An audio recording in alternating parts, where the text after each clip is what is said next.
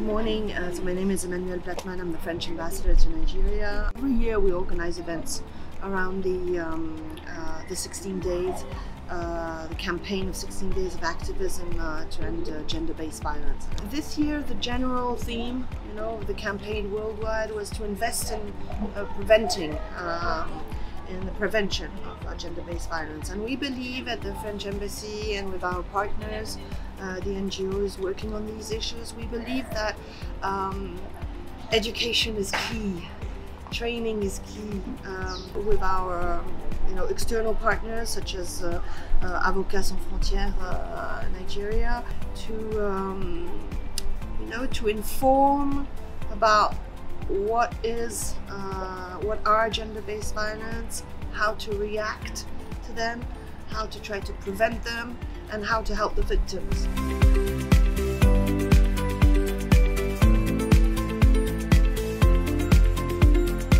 Gender-based violence continues to be a problem in Nigeria in particular as well as you know, everywhere in the world. But here in Nigeria, because of lack of awareness, we are not talking about the issues enough and uh, we are not uh, addressing it with different categories because gender-based violence happens practically everywhere but particularly in the homes because this year the, the entire focus is on prevention.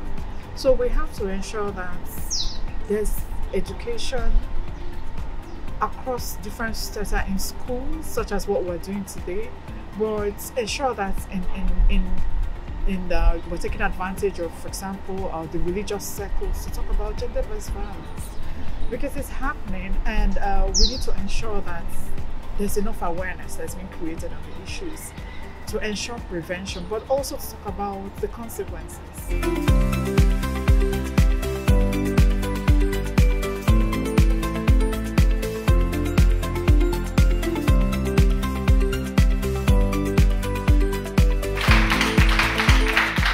Good morning, everyone. Good morning, sir. So my name is Chinedu, and I work with Avocats Sans Frontières France, ASF France. So today we are here to talk about gender-based violence, and not just that, but to get into what they call online gender-based violence. Gender-based violence is any crime that is perpetrated because of someone's gender.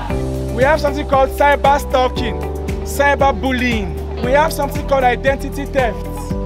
When you record people without their intent, without their consent, when you record them, when you film them, it is a form of online gender-based violence. If you see your friend and your friend stands up to answer a question in class and they maybe have a wardrobe malfunction, maybe their zip opens, you don't have any right to laugh at them or film them or record them, okay?